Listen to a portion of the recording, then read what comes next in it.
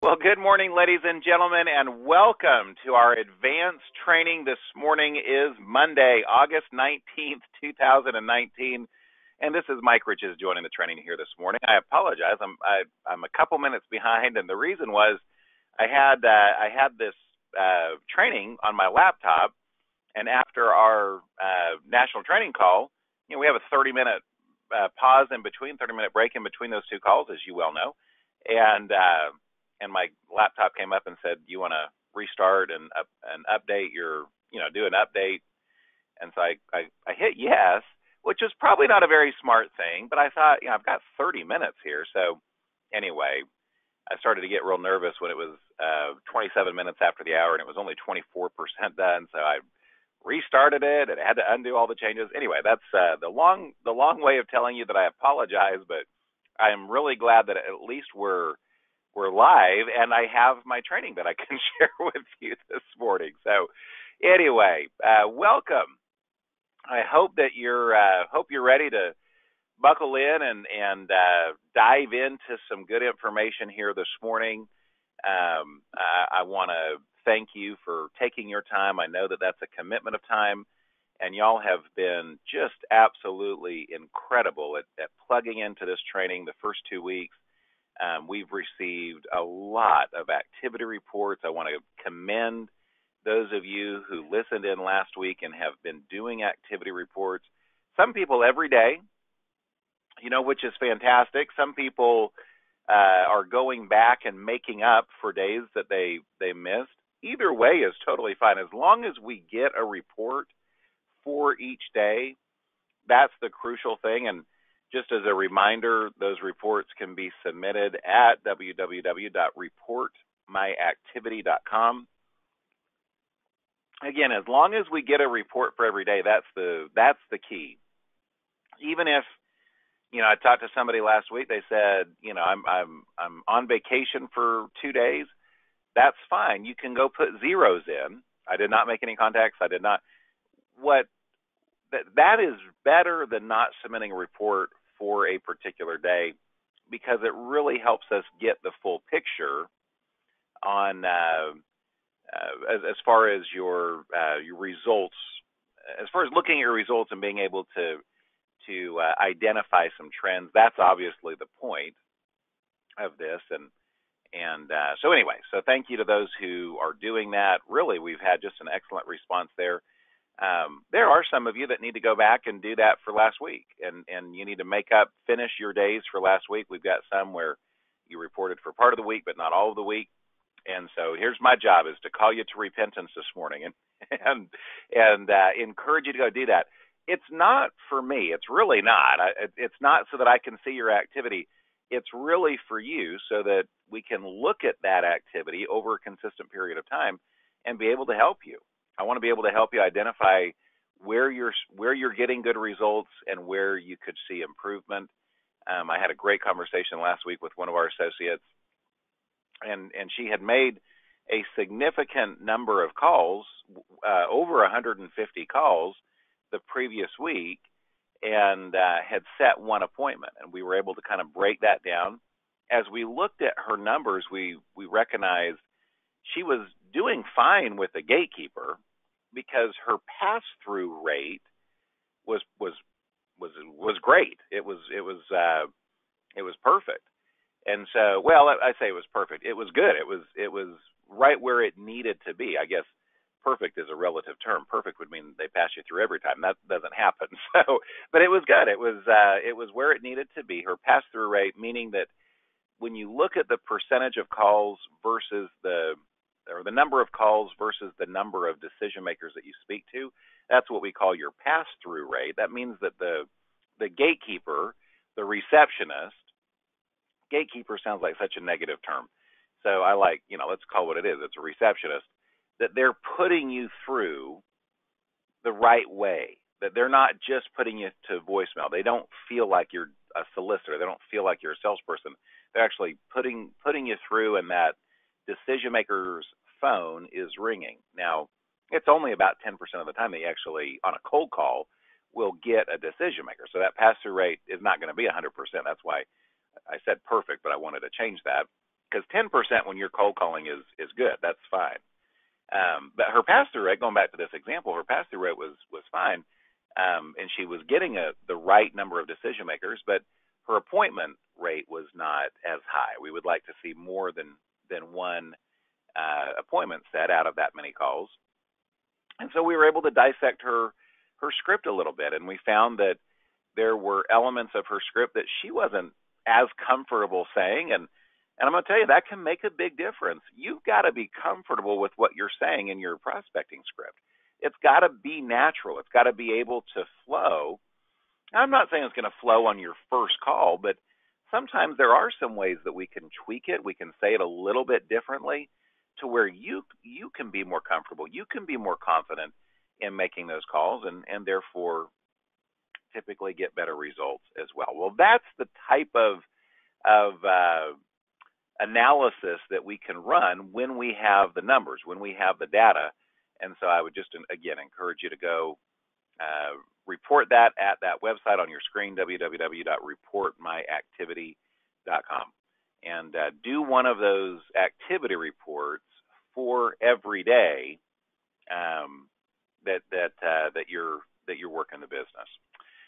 Let's uh, let's move into our topic of conversation this morning, and uh, and really this is a seven week series, but it's kind of one of those things where last week's training on prospecting and today's training on conducting an effective decision maker meeting, these two trainings, I mean, they, this is really where it's at and, and we're going to talk about effective enrollments. And I thought, by the way, Dave Paperno did a fantastic job talking about effective enrollments this morning. We're going to talk about preparing uh, for those enrollments. We're going to talk about other elements that that are important for our success because I mean, you can prospect well, you can do a great decision maker meeting, and if you get in front of a, a group of employees and and uh, you don't do a very good presentation, then you're obviously not going to have the the uh, the the success that you could have if all of those uh, if all of those were were in the right place where they really ought to be. But but this the reason I say last week and this week are so crucial is because this is where I mean as I've been doing this for over 17 years now, and I've worked with a lot of different associates. These are the two areas where we lose people. I mean, really, where where people struggle the most, and that that is in prospecting, which that makes sense because everything else leading up to prospecting, there's not a whole lot of rejection, right? I mean, you think about the the average associate that gets started, they they become an associate. Well, there's not rejection there because as long as they don't have a felony, and and even sometimes if there is a felony on their record, Legal Shield will approve them as an associate. So as long as they have ninety nine dollars the vast majority of the time, Legal Shield is going to say yes, check. Now, you know, we've got a new program with professional sellers where that is not necessarily the case. But as far as just becoming an associate with a company, you know, there's not a whole lot of rejection there. Certainly, when you're going through training, I mean, you don't click on a video and the video come back and says, you know, hey, I'm sorry, you're not sharp enough to watch this video. I mean, you know, if you click on a video, it's going to play. I mean, if you've got if you've got a phone or if you've got a computer, you can go through training. Making your list. You know, we tell our associates make a list of of uh, individuals. We tell our associates make a list of companies. You don't write on the list. I guess your pen could run out of ink, but short of that, there's not much rejection in in making a list. You make a list. You put the names down. Now, starting to prospect those individuals, that that's where you, you're going to face some rejection. That's where you're going to call some people and they're going to say no. And I don't want to sugarcoat that because it's the absolute truth. You've got to be ready for that. Well, because of that, we lose some people there. They'll they'll sign up, they'll go through training, they'll they'll get a membership, they'll even use their membership, and they'll make a list, they'll get all ready to go, and then they just don't make the phone calls. They just don't reach out and, and do a lot of the activity. And I mean, frankly, there could be other reasons for that, but I think the number one reason is we as human beings tend to not embrace rejection. like we don't love rejection. That's just a human nature kind of a thing. And so it makes sense that that would be an area where some people just don't make the cut. They just don't do the activity that's required. And we've got some that they make a few phone calls here and there, but they really don't dive in and do the activity that's required to make a six-figure income. And we that's an area there in prospecting. Well, this this uh, topic today of conducting an effective decision maker meeting, and I'll clarify that and specify a little bit in saying it's it's more where where we tend to have associates who struggle is not in the meeting itself, but it's closing the meeting. It's it's uh, converting the meeting into an enrollment. That's an area where we've just seen people struggle with that, and I've had people that that have very uh, you know excellent sales background. I mean, some of them 20, 25 plus years of executive professional sales experience, and they get to this point and they struggle. So, in other words, they go through training, they make their list, they they call the companies, they set up appointments, they go do the meetings, and again, the vast majority of time, the meetings go well. Like it's not that the decision makers are chasing them out of their office. The decision makers aren't saying this sounds stupid. The, the decision makers are nodding their heads, they're giving the right buying signals, they're asking the right questions, and then they get to the end and they're just not turning those into enrollments. And that's what I want to really dive into. Now, we're going to talk about the entire meeting, but what, what I really want to emphasize today is converting it. Taking an interested decision maker and turning that into an appointment with his or her employees, an enrollment, a scheduled enrollment, because that's what it's all about and then again, we'll talk about that enrollment uh, in future weeks. I mean, you know, I want those enrollments to be successful, but I, I've seen it over and over again. I've seen mediocre presentations lead to people signing up. I've seen bad presentations. I mean, my first enrollment was a perfect example of that. It was not a mediocre presentation. It was a bad presentation. It was really bad. I mean, I think I held the brochure upside down. I I tell people it was so bad I wanted to go cancel my own membership, but before I was done with it, and yet, out of the 12 people that I presented to, five still signed up. So you you can have a mediocre enrollment presentation and still make money. You can still do okay. But if you're not getting to that phase, if you're not closing decision maker meetings properly, if you're not converting again an interested decision maker, which is not hard to get, to a scheduled enrollment, which can be a little bit harder to get, if that conversion isn't happening, it doesn't matter because you're not going to be enrolling. And that's what I want to uh, really dive in and focus on this morning. So now we'll backtrack a little bit and, and talk about the meeting itself. How do you have an effective meeting? How do you get that decision maker to be interested? And I'll give you just these tips on the screen. We'll talk about each of these. One of the things that I think is so crucial is watching the time that you spend in a decision maker meeting.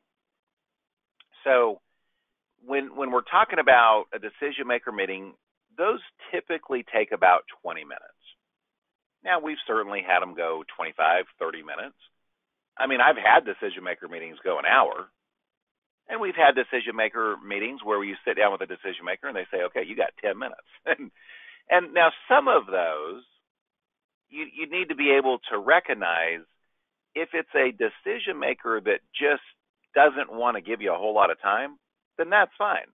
And do a 10 minute presentation, get into it and and try to pique their interest. And frankly, if you and I are not able to pique interest in 10 minutes, we don't really need to stay there much longer anyway, right? Because there's nothing that we're going to say in that 16th minute that we couldn't have said in the first 10 minutes that's going to get them to change their mind and say, okay, never mind, I am interested. So if it's one of those, and I've, I've found that those are pretty few and far between, but if it's somebody that's just, okay, look, I said yes to get you off the phone, I really don't care what you have, you got 10 minutes, go. Then, yeah, we need to be able to, in 10 minutes, either pique their interest or not waste our time anymore and just move on to the next decision maker. And that's okay. You're going to have some of those if you're out doing the business the way that you should be. You, you need to be having some of those because that's part of the business. You also need to recognize, though, when a decision maker is just overloaded. And sometimes they said yes to the appointment, and then you show up and everything in their world has fallen apart. They've got an emergency, HR emergency that they're dealing with. They've, you know, production stopped because of uh, an equipment malfunction or something like that.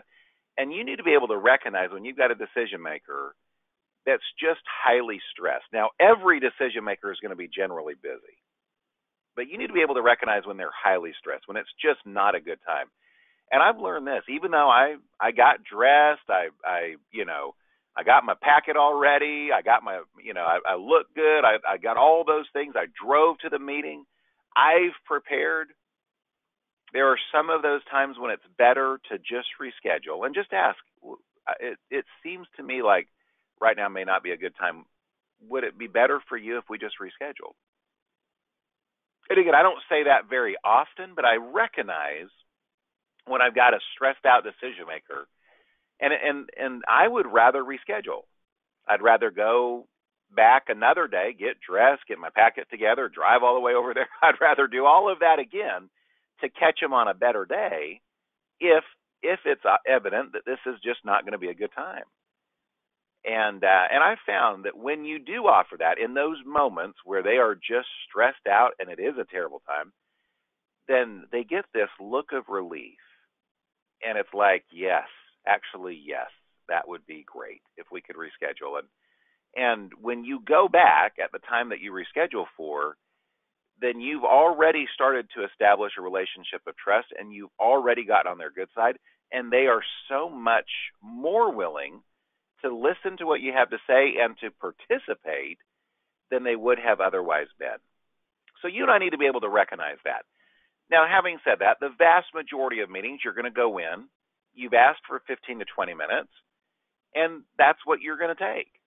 And the person is pleasant, they're polite, they they um, you know maybe somewhat interested when you sit down, but by the time you're done, you're going to have them very interested, and the meeting just goes well.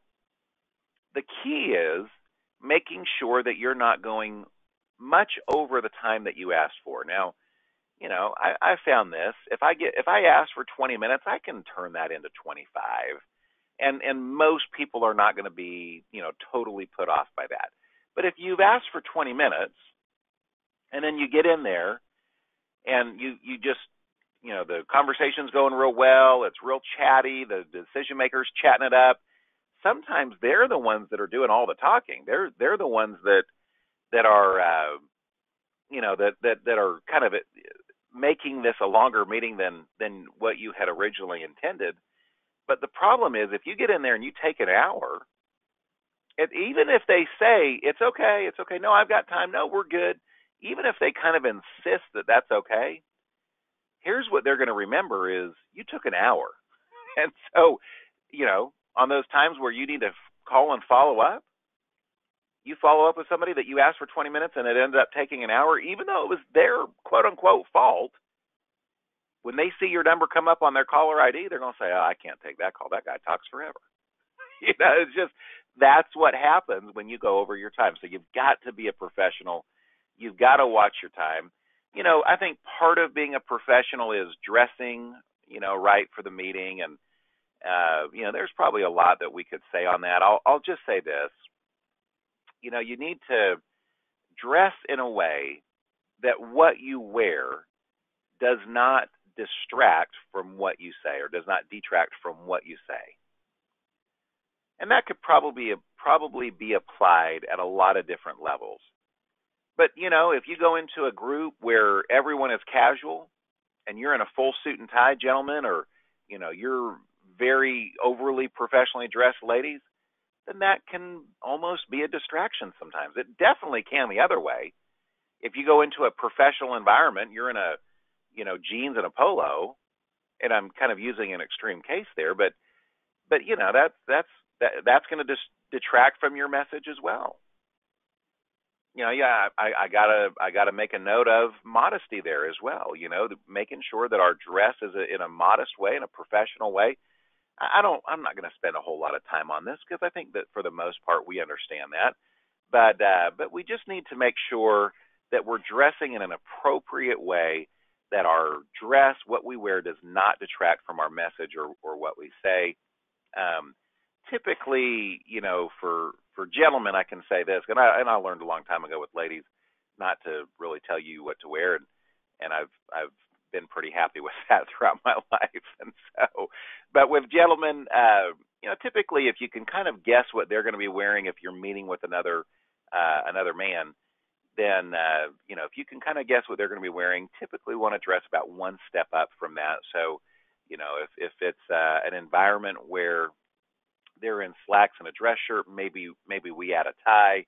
If they've got a tie, maybe we add a jacket. I mean, you know, typically if you can shoot for one uh, step up from where they're going to be, then that's great. Will you always know that? No. You know, sometimes, especially if you've prospected over the phone, it can be hard to know what kind of an environment it's going to be. And we're going to, you know, probably find ourselves a little overdressed or a little underdressed sometimes. Um, and that's okay. If you're being field trained, watch what your field trainer does. And, and it's okay to uh, shoot your field trainer a text and say, hey, how are you going to be dressed today so that I can kind of uh, mirror that. But, you know, if your field trainer shows up and they've got, uh, you know, a, a slacks and a dress shirt, if it's a gentleman, and they've got slacks and a dress shirt, you want to kind of match that as well. You know, you don't want to be underdressed from the person that you're with, especially if you're the field trainee, if you're the one that's being field trained. You don't want to be overdressed from from where your field trainer is as well. So, you know, again, that can be coordinated, um, uh, you know, before the before the meeting starts. I remember years ago, I was fairly new, and I remember somebody asked me that question. I was going to go do a meeting with them, and they sent me a message and said, "What what kind of dress are you, you going to be uh, in?" And and I thought it was kind of weird when I first heard it. I was like, you know, why is this guy asking me what I'm going to be wearing? Well, the more experience that I got, the more I recognized that's a very sharp and professional thing to do. To and, and here's why he asked. He didn't want to be overdressed. He didn't want to be underdressed.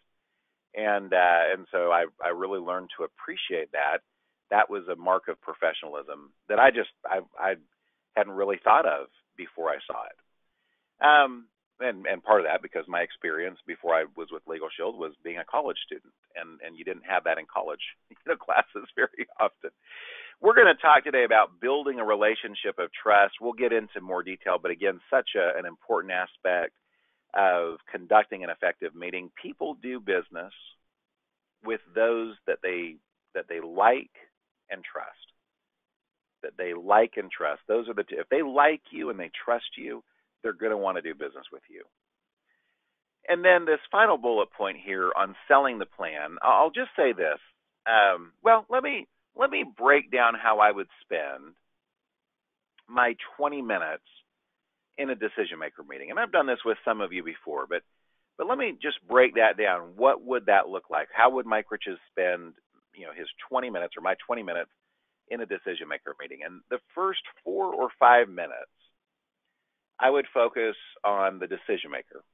You know, that's that's where a lot of that building a relationship of trust would be done in that first four or five minutes. I would look for pictures on the wall. I would look for a degree that's hanging there. I would look for anything in their office that would be a good conversation starter, um, and just get them talking about themselves. I would ask them some questions, um, you know, about themselves. Uh, you know, how long have they been with the company? Now, I might know that before I go in because I've looked them up on LinkedIn.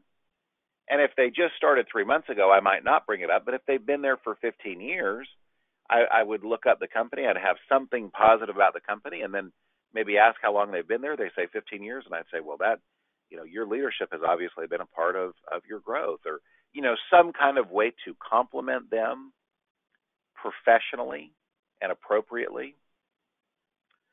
But that would be the first four to five minutes.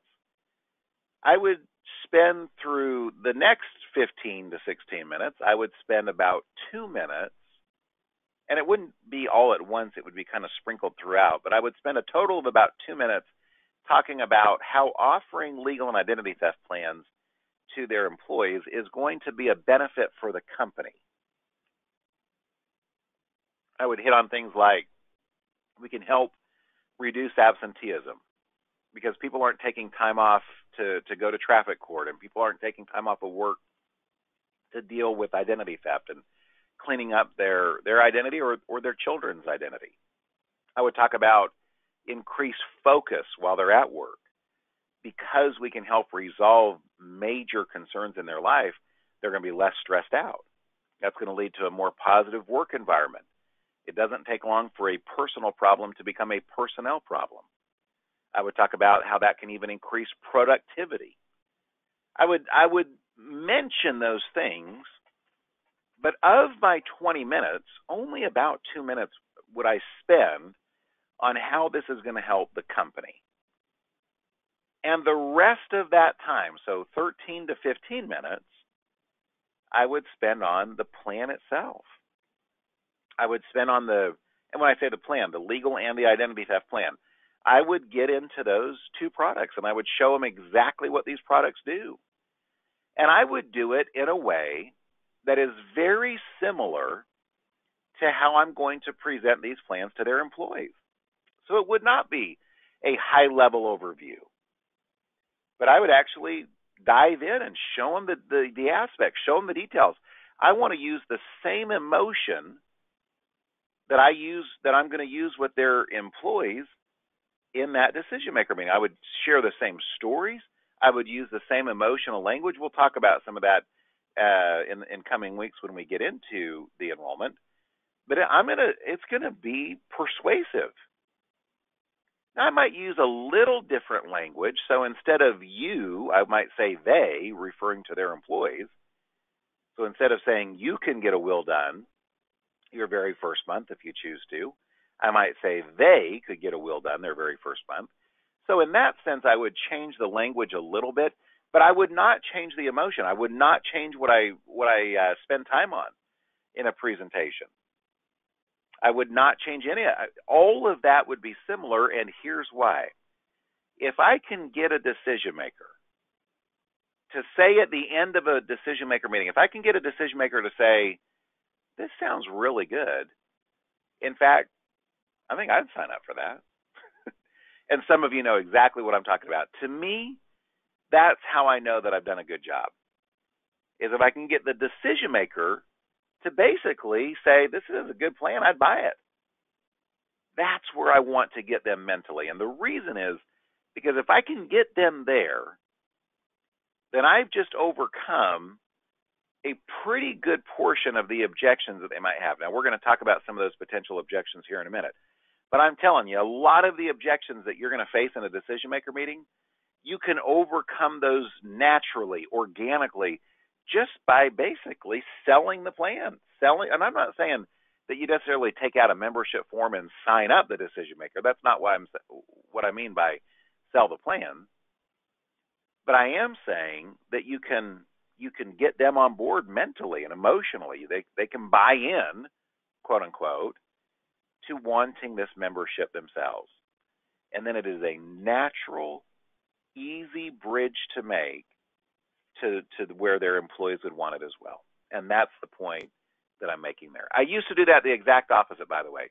So again, my breakdown today: four to five minutes uh, building relationship with the decision maker, two minutes kind of sprinkled throughout the meeting of how this is going to benefit the company, and then the the majority of time, 13 to 15 minutes, how this is going to benefit the employees themselves. I used to do that kind of reverse. I would do a real short, high level overview of the product and then spend the bulk of my time in a meeting talking about how this is going to benefit the company. And I learned to reverse that and spend the bulk of the time talking about how it's going to benefit the employees. And my results went through the roof. They were so much higher than when I was so focused on how this is going to help the company.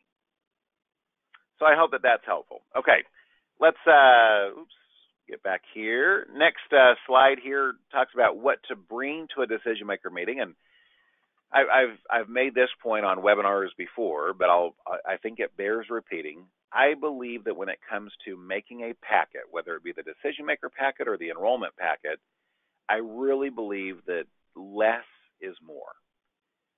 Now, not I do not mean by that that it, that your packet should be less professional.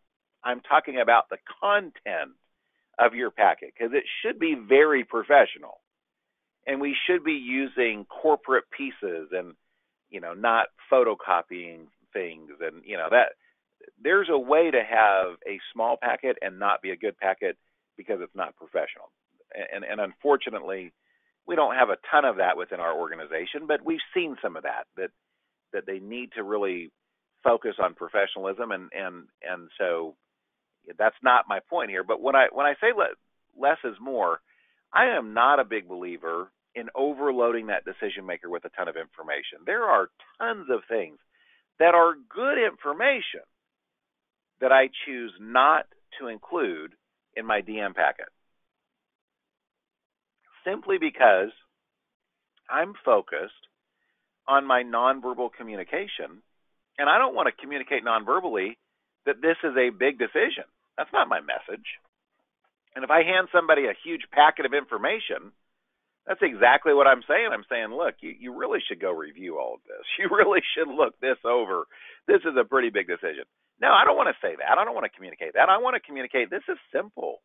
In fact, let's schedule an enrollment today. That's what I want to communicate. And I find that just having a simple packet allows me to do that. Now, what does that look like?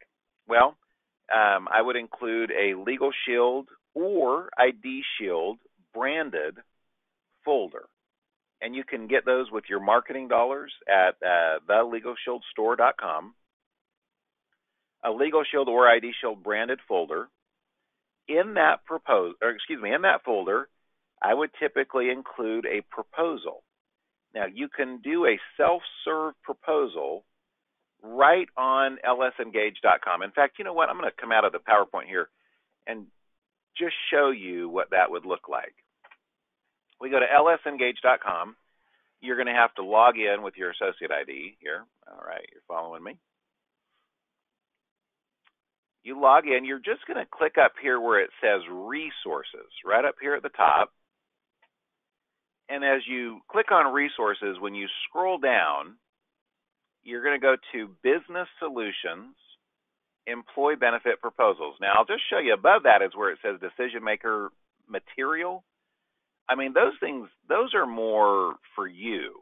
Okay, so, um, so, so that's, I mean, you know, there is a, uh, a PowerPoint presentation that you could that you could download. I'm not big on using a PowerPoint in a decision maker meeting. I've done it once or twice. I prefer just to have more of a relaxed conversation and not make it as formal. Now that is one person's preference, but but I, where I'm showing you is where it says employee benefit proposals and inserts here, and here you've got a wide variety of proposals that you can use. Um, I, will show you the one that I like is right down here, B2B proposal uh, or B2B employee benefits. Um, let's see, where is that? Maybe it's not the three bureau. I think it's the one bureau. And I wonder, no, that's not it. Well, I'm sorry, guys. I should have had this before. ID Shield proposal. Those are just on ID Shield. I like them with the legal, but I was looking for just the one bureau. But you could put the three bureau in there. That's fine. Um, so it's again, I'll just show you where it says three bureau legal shield and ID shield combo proposal. Uh, that would be the one. I thought they had one that was just with the one bureau, but I'm not seeing it here. They may have, uh, there may be editing that because this is a new design. So anyway, but that's uh, this is the proposal that you could use. Now you could get that printed at like a uh, UPS store or a FedEx Kinko's. I would be real careful printing this on a home computer unless you've got a nice color laser printer where it's going to look professional, I would take it to a you know a, a, a UPS store or something like that and have it printed so that it just looks sharp. And you can ha- have them bind this as well, uh, you know, which is fine. But that proposal works pretty well. Let me just show you here. We'll go to the LegalShieldStore.com and I'll just show you the folders that, that I'm talking about. If you click on Use Marketing Dollars up here, uh, that'll take you to the marketing dollars page. This is the Legal Shield pocket folders. It's $6.95, but that's for 10 of them. So they come out to like 70 cents each. So that's not a bad deal. and they have some that are ID Shield branded as well. Now, I said either the proposal or the flat sheets, and I'll show you those flat sheets, is this one right here. This is the Legal Shield flyer. That's the flat sheet. And there's one on here for identity theft. I think it's a couple pages back, but there's one on here for identity theft as well. And those two flat sheets in a folder, that works as well. Again, I would order them from here because they come on nice cardstock or get them printed on like a glossy cardstock uh, through the UPS store. But but either either the uh, proposals or the flat sheets work really well. You don't need both. So if you have a proposal, that's what you're going to use to go over the membership, and you don't need the flat sheets. If you're going to use the flat sheets, you don't really need a proposal. So either or on that. And then the only other thing that I would really want to include for sure is a list of references. Now you may may not have if you're just getting started, you may not have a list of references yet. And and that's okay. You need to build that list of references. We do have a couple of those, or a few of them available in the success team back office that you can find. But the best thing is to build your own list of references. Obviously, with companies that you're doing business with, that's that's preferable. But sometimes, you know, you'll call Legal Shield and and uh, and they'll tell you that you know there's a group that's already active that you're not going to call on. Some people will will use some of that information some sometimes to build your list of references. You know, I think that that's a that's another way to to build that, or just in in um, in conversations that you have. This is what I would probably prefer is that if you're having a conversation with a with another associate that you know they mention, hey, I'm working with a group you can ask them, would you mind if I just listed that group on a list of references that I could give to a potential client? And, and usually an associate would be okay with that. So anyway, but, but a list of references can be a good thing, even if it's not super long. If it's just, you know, eight to 10 businesses is fine. I mean, it, you know, I think it's nice when it's a little bit larger than that, but, but, uh, but that list of references just shows that decision maker they're not the first ones, and, and that's the key here. Nobody wants to be the first. Now, you're not including uh, phone numbers or contact names. It's just the name of the organization, the company, or municipality, or government, or school, or whatever. Um, it's just the name of the organization that's on that list of references. So it's not like you're giving them uh, the green light to call all those places because we do want to protect our active groups as well. And if you do have a decision maker that says, I would like to talk to one of your active clients, then that's fine. We can definitely get that. And if you don't have one, you can call the home office and they can get them somebody. They can get them a, a reference in their area that they can call. But in those cases, if they really do want to call and talk to somebody, then you would definitely want to check with that the uh, decision maker first, excuse me, with the active client first, and get their permission before you share their information and and that way they can be watching out for their call as well. And in those cases, make sure it's somebody that's going to say good things about you, about Legal Shield and ID Shield as well. So those three things are the things that I would absolutely want in my decision maker packet. And if that was all I had, those top three, that would be okay. Now you could put in an article in that packet as well and we've got a couple good articles in our uh, success team back office that you can pull from. And you could uh, put the group authorization form in there if you wanted to, although I typically don't. But you could. There's nothing wrong with that. I, I say I typically don't. It's not that I'm anti getting the form signed. Again, I just think that less is more. And I almost prefer after I set the enrollment to go back and get them to fill out the group authorization form at a later time or to email that form to them and have them fill out like a fillable PDF of that form. That's what I would typically prefer to do, but that's just one person's opinion. We've got plenty of people that put that form in their packet as well. I think the key is not having it to be, you don't want it to be a big, heavy packet. You just want it to be light, you want it to be simple and straightforward. And then notice the last thing here that I mentioned is that gift. Um, now, if you've prospected the company in person and already brought them a mug of chocolates, then sometimes a second gift isn't nece- uh, absolutely necessary, but it probably wouldn't hurt to bring in a second gift. Just show them, hey, I really appreciate your time. If you've prospected over the phone, then this would absolutely be an area where you'd want to bring a gift. And by the way, I mentioned last week when we were talking about prospecting that if you're prospecting in person and you're doing mugs full of, of uh, good chocolate, I don't I don't know that the Legal Shield branded mugs are absolutely necessary. I just don't know that they're necessary. They're nice, but I don't know that they're necessary. If you're bringing a gift to a decision maker, don't be afraid to use a Legal Shield branded mug. And let me uh, let me see if we can find that here on the search bar. And you can see here we've got several different options. All of these options have uh, this little green circle, which means that they're eligible for Legal Shield marketing dollars. So if you wanted to use just an ID Shield mug or just a Legal Shield branded mug, if you wanted a mug that has uh, both brands, one on each side, and you can see here there's 7.95 each. So I mean that's not that's not cheap. You can do a dozen for 90 bucks, but that's not you know that's not inexpensive. But if you're talking about um, taking this into a decision maker at a meeting, then that's a pretty reasonable investment to to make. So anyway, okay, that's what I wanted to cover on bringing to a decision maker meeting. Now let's talk about what you're going to cover in that meeting. I already kind of broke down how I like to spend that time, but I want to dive into this a little bit more in depth.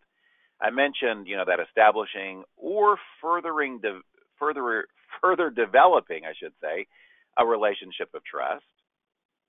And I say it that way because, you know, again, if you're working your warm market, which is the list that we made, you know, of 30 companies, I, I asked you to, to make a list of 30 companies from your warm market, and I think that many of you could could get more than 30 companies from your warm market. But some of those warm market contacts you're already going to have a relationship with. You already know the person. And maybe you're not best friends, but maybe you know them from church or, you know, maybe it's a, you know, a former business contact. And so sometimes it's not going to be establishing a relationship of trust, but it's going to be furthering uh, that relationship that's already there, further developing that relationship that's already there. I really like this trust formula. I went to a training last uh, last year with Hap Cooper, and Hap is a, an individual that he helps companies develop their training, and he's working with Legal Shield Business Solutions right now to further develop the uh, the business solutions training that we're providing, and I'm really excited for the difference that Hap can make. One of the things that he talked about was this trust formula: C equals I'm sorry, T trust equals C times I over R. And here's what those, uh, the, and some of you may be familiar with this already, but here's what that means. Trust is the T, equals credibility times intimacy divided by, what do you think that R stands for? And the R is for risk. Trust equals credibility times intimacy divided by risk. Let's just break down what, what each of those might mean. Credibility is very important to a decision maker. If a decision maker feels like you're not really a credible source, they are typically not going to let you come talk to their employees. Because if you're not a credible source, then that's going to damage their per, uh, perception or their employees' perception of them, I should say if they're bringing in somebody that doesn't really know what they're talking about. That's why, even if you're new, you would never want to necessarily say that to a decision maker. Or if it's a warm market contact and you're calling, you know, somebody from, uh, you know, from a previous business relationship, or you're calling a friend or a family member, or you're calling, you know, somebody from church that owns a company, that's where having that field trainer can be so crucial.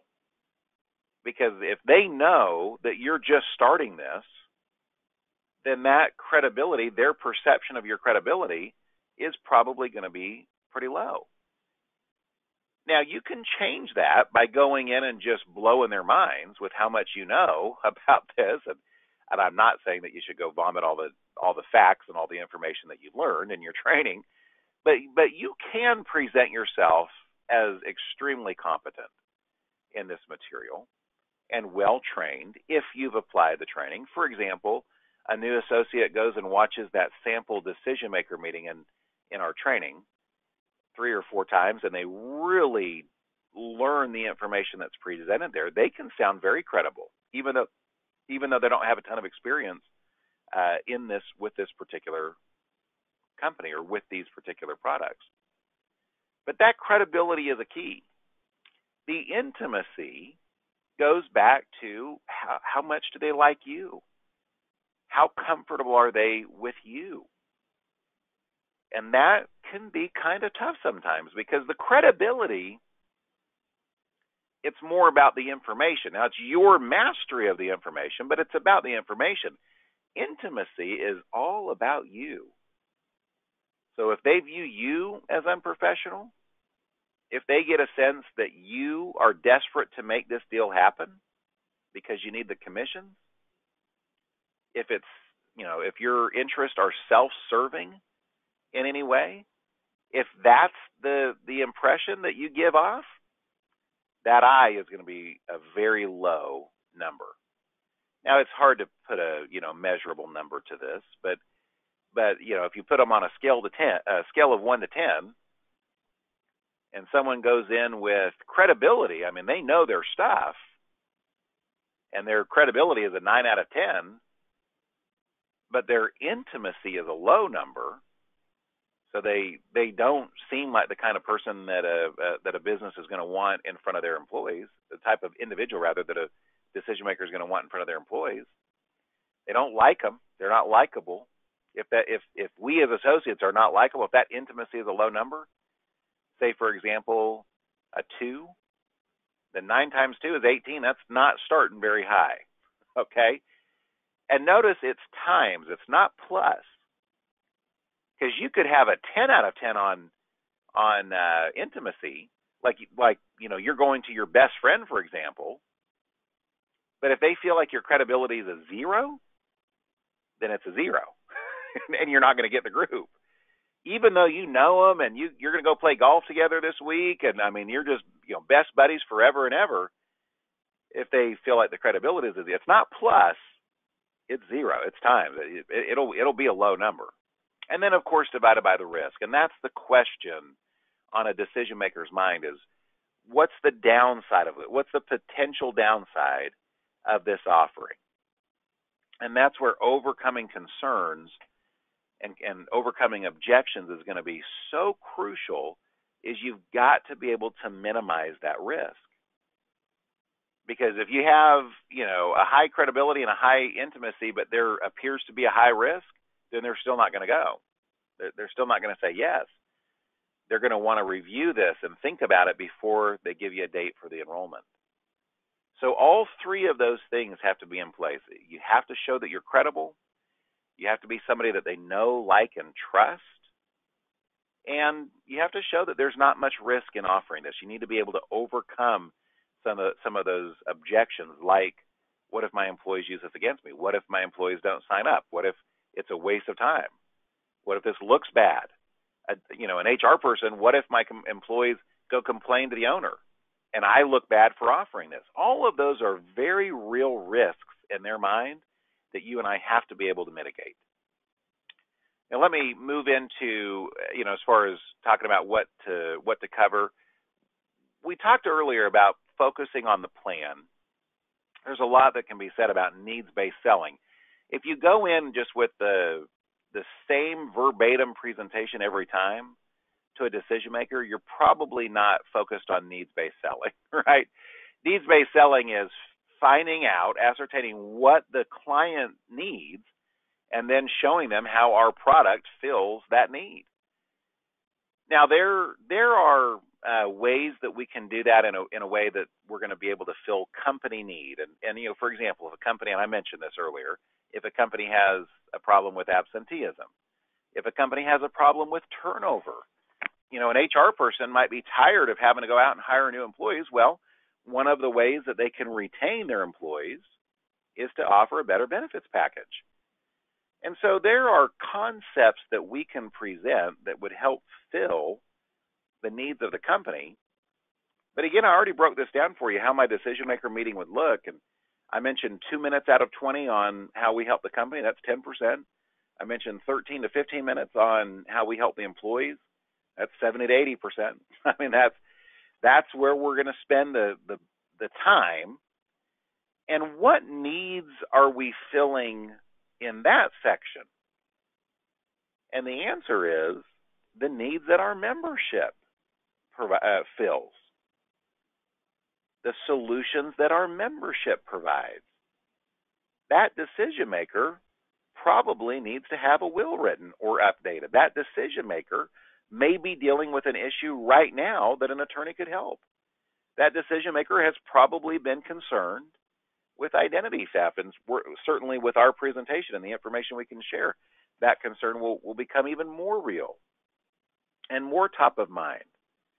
And so we're showing by focusing on the product, we're showing that we can not only help help meet the needs of the company, but that we can help meet the needs of that decision maker and and this is the big and and their employees. Because again that's the connection that they tend to make is if we can show them that they would benefit from this plan then it's natural for them to to assume that their employees will benefit from this plan. And that's what I mentioned earlier getting the decision maker to say I want it myself. I want this plan.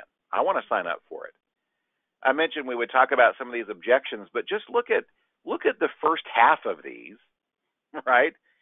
And can you see where if you can get the decision maker to say, I want this, I would sign up for this, you see where some of these just disappear like our folks don't participate in voluntary benefits and is it worth taking time to present these plans? My employees make minimum wage.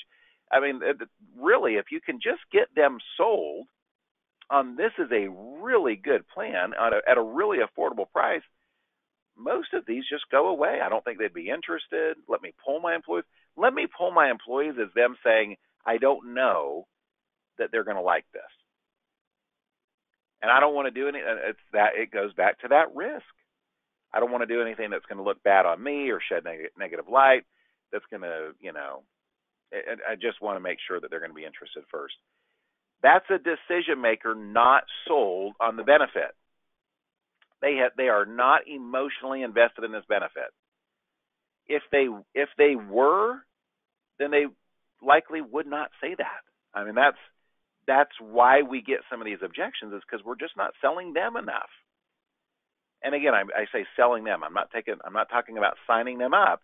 I'm talking about getting them to where they're like, "Wow, this sounds really good." Now let me uh, let me just kind of cover some of these, and you know, again, whenever we talk about overcoming objections, the best time to overcome an objection is before it arises. So let's make that clear right up front. If you wait until they say, "Let me pull my employees," then you try to overcome that, then it doesn't work as well. But if you say throughout your presentation, if you say, and I like to say this, by the way, at the point where I get to the pricing, which in a decision maker for me, in a decision decision maker meeting for me, is typically towards the end of that meeting. And I like to see no wonder we have, you know, 50 to 70% of employees that are signing up. I mean, this is an incredible price. And they're getting an incredible discount for an amazing product. And and I, you know, I'm not trying to pat myself on the back, but but I'm dripping with belief I'm dripping with con- conviction when I'm talking about these things because I really do believe that their employees need this plan. And I really do believe that their employees can afford this plan. And so I'm dripping with that. They can feel that from me. And then I might say something like 50 to, you know, no wonder 50 to 70% of employees are signing up. Now, it's one of those things if you went and polled your employees, the interest wouldn't be very high because they just don't know what they don't know. But if we can get in front of them and get that 10 to 15 minutes, then it just creates a paradigm shift. And all of a sudden, they get it and they want it. Most people, if you ask them about a legal plan, they're going to say, "No, I don't get sued." But when they, when I can talk to them for 10 or 15 minutes, and it takes a few minutes to to get them to understand this, but when I can, and all of a sudden they have a paradigm shift and they realize, wow, no, I could use this for stuff that I'm dealing with right now. And once they understand that, that's where 50 to 70% of them sign up. That's how you could overcome the polling my employees before it ever arises. Now, again, do you have to do that in every meeting? I don't know. But if you're getting that objection, then you might want to add that as part of your presentation. What about these uh, this this uh, uh, concern here? I'm sorry. I don't think you were looking at the right. Okay, sorry about that. Here's the here's the page. Sorry, I was looking at the wrong screen. Uh, what about this concern here about open enrollment? You know, that's to me one of the great advantages of offering these two plans, the legal and the identity theft plan, is that you don't have to offer them uh, during open enrollment. So when you have someone that says, you know, we just had open enrollment, Great. This is, and here's how you answer that. This is not a Section 125 benefit. Now, you again, you could preempt that. You don't have to wait for them to say that. You could say one of the nice things about this these plans is they're not Section 125 benefits. Section 125 is like a cafeteria plan. These are not Section 125 benefits, and many of the clients that we work with offer these off cycle, and that way it doesn't get you know uh, combined in with everything else. And the employees can actually focus on this and, and make a good decision. Now, some companies, even though you say that, even though you try to overcome it, some companies are going to say, well, we prefer to wait till open enrollment. Right now is actually a really good time to be calling on companies. It's why this is such a crucial time of the year because in August, uh, businesses are making decisions on benefits that they can offer during open enrollment fourth quarter. Because so many companies, their start date is January 1st. And so their open enrollment is in the fourth quarter. When do they look at those benefits? Mid to late August. So I mean, we're in that zone right now. It's why the, it's why your prospecting numbers ought to be double what they normally are. This is the week to make 300 calls when you normally would make 150. I mean, it, it's you want to you want to really double down right now on prospecting and adding businesses to your pipeline because it's just a great time. Now, does every company do it January 1st? No, of course not. You've got some that will do it, you know, March 1st and April 1st and July 1st and October 1st. I mean, we got them all across the spectrum. But but a, but a bunch of them, a lot of companies, they are making their benefits decisions right now for an open enrollment in fourth quarter. And it's okay, even though we can offer these off cycle, especially if the open enrollment is coming up. You'll have a lot of companies that will say, let's do this as part of our open enrollment. And that's okay. It's not a bad thing to do it as part of their open enrollment. But, uh, but you just want to make sure that you're that they understand that they don't have to wait till open enrollment. And that way, if their open enrollment was July 1st and you're meeting with them late August, they're not waiting till next summer to do this. This uh, third to the last uh, objection here can our employees use the legal plan against our company? That is a very important objection that we want to overcome in every decision maker meeting that we're doing. We want to make it very clear that the employees cannot use it against the company. And sometimes it's not just for the decision maker that you're talking to, but there's usually someone else that they're going to bounce this off of between the meeting, uh, between your DM meeting and the enrollment. If it's the owner that you're meeting with, he or she will bounce this off of a spouse or a business partner or even some of their employees.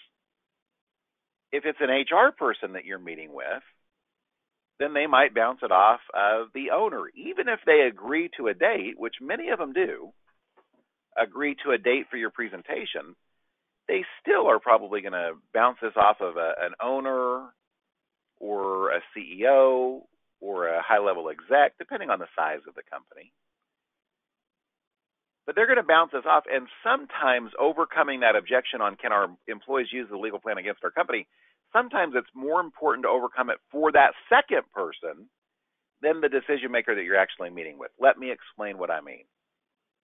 If I'm meeting with Susan, who's the HR director, and John is the owner of the company, Susan may not have even thought about what if you know if we offer our employees an attorney, could that come back to bite us? Could they use the legal plan against us? Susan might not even think about that. And I could overcome it in a very simple way and just say we we amend the policy so that they can't use them against the company. And it might be enough for Susan that she nods and says, okay. But the problem is when she goes and talks to John, the owner, and John does pick up on that. Susan's saying, you know, that we give them an attorney, they can get wills done. And John says, hold on. You're saying that we're going to give our employees an attorney? Well, what about the ones that want to sue us? And usually it's the 99% of them, that's not an issue. But most employers have that 1%, that one or two people, you know, that, that they're kind of a question mark. And that's who the owner's concerned about. I want to have overcome that objection so strongly with Susan that she feels confident in overcoming that objection with John at a later time. And so I want to make this super clear. And this is, I'm going to share with you the language that I actually use here. And I usually will bring this up myself. I don't wait for Susan to ask about it or the HR person or whoever I'm talking to. I don't wait for the decision maker to ask about it. But I bring it up when I get to the part in the legal plan where it talks about writing letters. And I'll usually share a story about, you know, uh, an insurance company or uh, we had John Markham share this morning about buying a, a home and the home description wasn't right and the member was going to have to eat $1,200. They had their law firm write a letter on their behalf and, and they were able to resolve that to where they, they didn't have to pay that $1,200 themselves. Well, I'm going to share some story like that. And usually the decision maker is nodding their head, they understand it. And that's when I'll add now, let me make sure that I make this clear that your employees will not be able to use the plan in any way, shape, or form. Listen to my language here in any way, shape, or form against your company.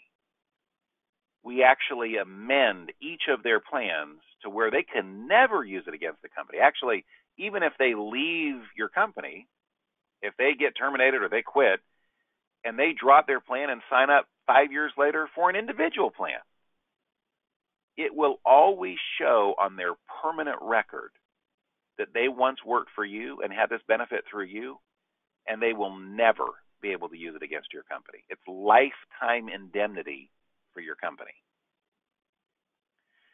Now that you know it takes all of 30 seconds to say that. It's not like it's you know it needs to be a 10 minute thing, but do you hear where I'm being pretty strong on that point? Again, it's not just for Susan. But I want to be strong enough that Susan, when she's talking to John, and John brings that up, hold on, you're saying that we're going to give our employees an attorney? What if they use it against us? I want Susan to be confident and say, no, we actually spoke about that, and and they and they uh, amend all the plans. They can never use it against our company ever. It's lifetime. And so John says, "Oh, well, good. Yeah, that sounds good." I want her to be confident enough to overcome that uh, that objection with whoever she talks to, even if Susan is the owner of the company, and she brings it up to her assistant, and her assistant mentions that. I want her to be confident that that we have overcome that objection. I hope that makes sense. Um, the last two here, the last two objections on the screen deal with payroll deduction. Now, this is something that if you're like me, when I go into a company, I typically prefer payroll deduction. And, and in fact, I'm going to assume that they're going to do payroll deduction. Now, if you're talking to a company, obviously there are some exceptions to that because if you're talking to a company that's under 20 employees, then I might not make that assumption. That would be more of let me ask them if they do other benefits and and uh, you know how how are how is that how are those other benefits administered if they do offer which by the way let me just do a little sidebar here that as soon as I'm done uh, building relationship for the first four or five minutes with a decision maker in my meeting, that is my transition. As I say, well, let me share with you some of this information. Do you mind if I ask you a couple questions first? And my questions are what kind of, number one, what kind of benefits do you offer right now? And I'm listening there because if they offer a, a benefits package, and especially if they offer voluntary benefits, anything on a voluntary front, so like AFLAC, Colonial, accident plans, cancer plans, pet insurance, anything voluntary, then I know that they're accustomed to doing payroll deduction and I'm going to assume payroll deduction. If I'm meeting with a, a mechanic shop that has eight employees, and I say, What kind of benefits do you currently offer? And the owner says, Not really nothing. Then I am not going to assume payroll deduction because they're they're not going to be able to set that up. They're not going to want to set that up. I'm probably just going to proceed with assuming that it's a self pay at that point. Or another exception to payroll deduction would be if it's a real estate office, you know, and, and their 1099 agents are not receiving a, a weekly or biweekly or monthly check, then we're not going to do payroll deduction there. But the vast majority of the time, I'm going to assume payroll deduction. Well, if you're like me, then that's where these objections are going to come up. Now, if I say, for example, and this is how I this is how I bring it up in my presentation, if I say to the decision maker at the end of the product, when I say when I get into pricing and I say, if you look at both of these, are only thirty eight ninety a month for both plans for a family, and that comes out to eight ninety eight a week out of their check. It's really affordable. No wonder 50 to 70% of employees are signing up for this. And did you hear how I brought up payroll deduction without really bringing up payroll deduction? I just said, which breaks down to 898 a week out of their check. Now, sometimes the decision maker will ask a clarifying question. Is, so is this through payroll deduction? And I've learned just to say yes because it's them asking that is usually not an objection, they're just clarifying. If it's an objection, that's where you're going to run into these last two here. They're going to say something like, well, that's going to be a problem because I've got my payroll person so overloaded right now. It's just one person she's doing for the entire company, or he's doing just for the entire. And I just I cannot overwhelm them anymore. And and at that point, I would talk about how these plans are easy to administer, and you know there there are no claim forms, no term forms. But I will say this: if they're just dead set that they're not going to do payroll deduction, and, and the the final bullet point there is kind of the same that we just don't have a slot, we can't do it. If they're dead set against it, I'm probably just going to go for the easy yes, and I'm probably just going to transition to self pay at that point and set them up as a self pay group. Excuse me. There's nothing wrong with that at all. And so, you know, it's it's not all about overcoming every one of these. Some of this is just what's going to work best for the client and finding a way to be able to to to work within those parameters that the employer has set, that the, that the company has set. And that's the case with open enrollment. I mean, if they say, no, look, we're going to do this during open enrollment, I'm not going to object to the point where I kick myself out of the out of the meeting, out of the group. No, I, I just told you you don't have to do open enrollment. It's not a Section 125 benefit. Why can't we just meet tomorrow?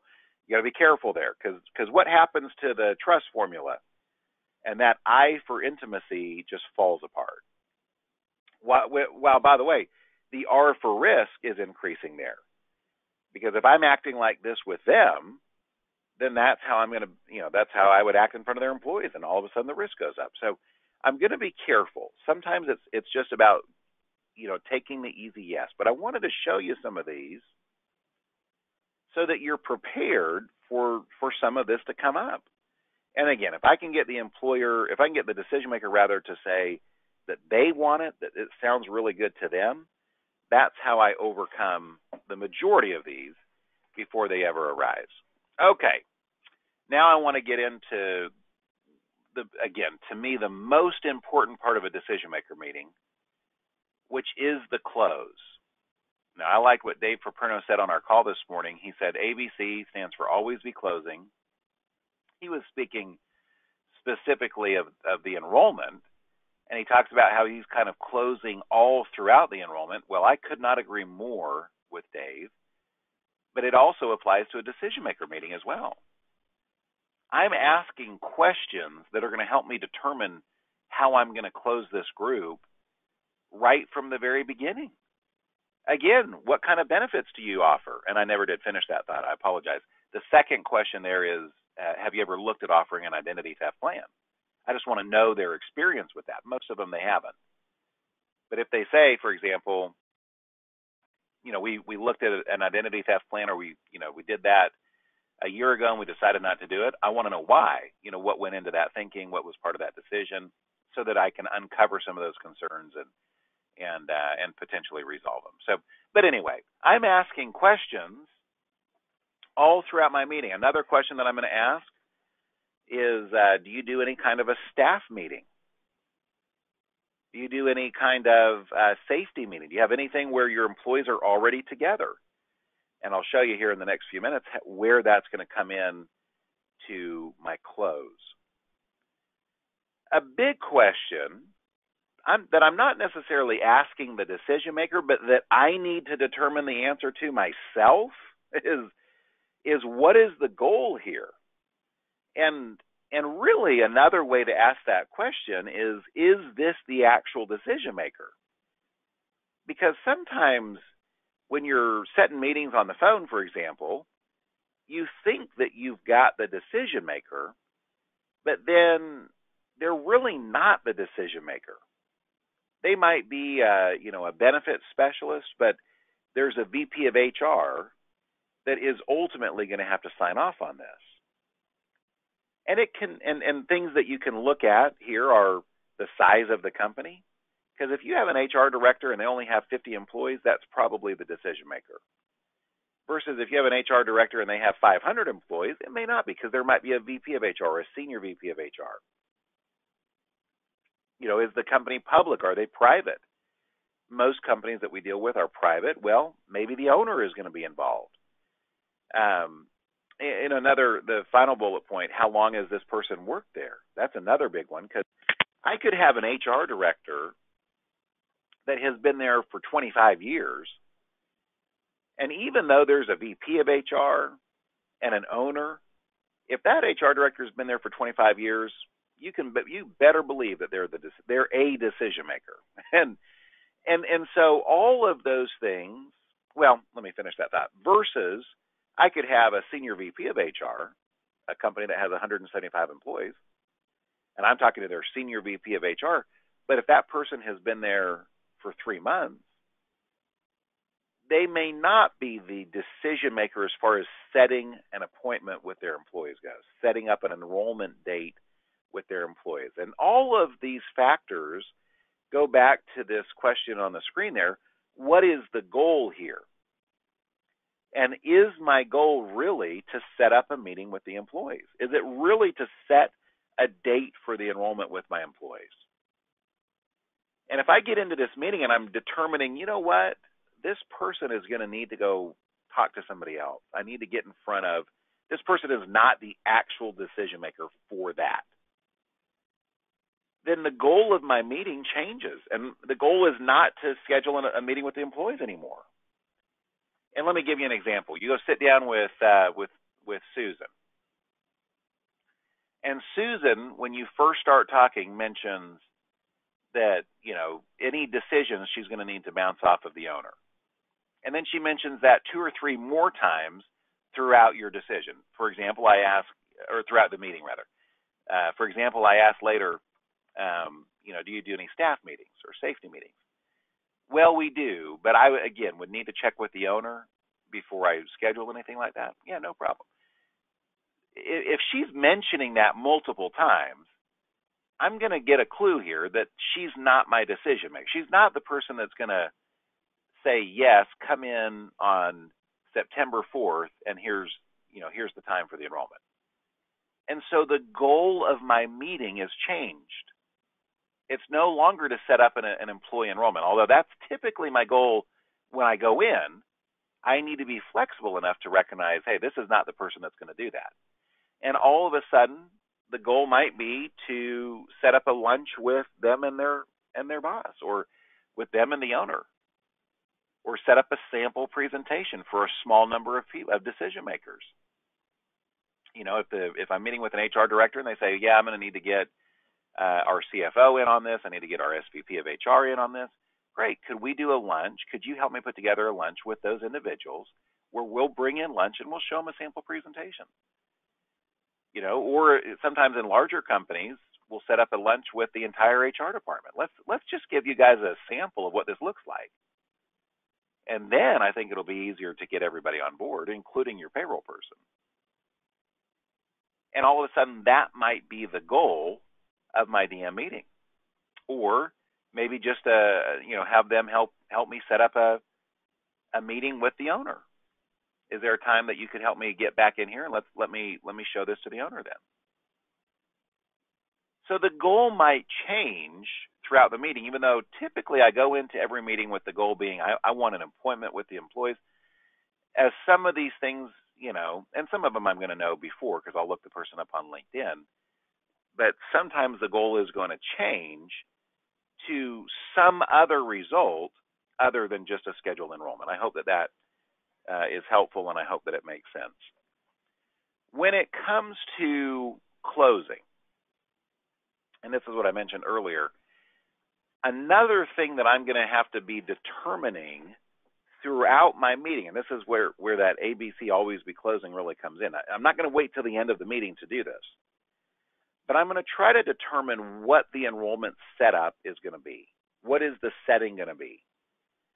is, and, and these three on the screen, these are by far the three most common enrollment settings. Okay, so it's either going to be a mandatory meeting, which is like a, like a staff meeting or a safety meeting, or it's going to be a voluntary meeting where the employees come if they're interested, and we'd set up there like a workshop or a lunch and learn. Lunch and learn is best when it's voluntary because if you feed people, more people show up? Or is this going to be an open enrollment meeting? And notice, uh, going back to the mandatory meeting there, notice I've got in parentheses pre-existing versus non-pre-existing. So what do I mean by that? I mean, is this a is this a staff meeting or a safety meeting where the employees are going to be there whether I show up or not? That's a pre-existing mandatory meeting.